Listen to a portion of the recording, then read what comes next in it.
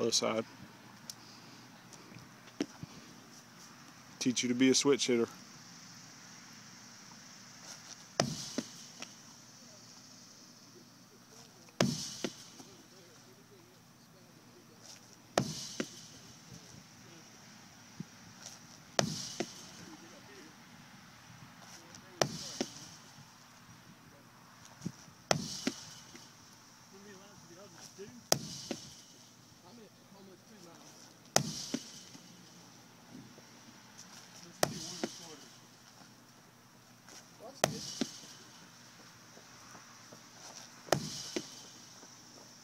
All right, now we're going to make it quick.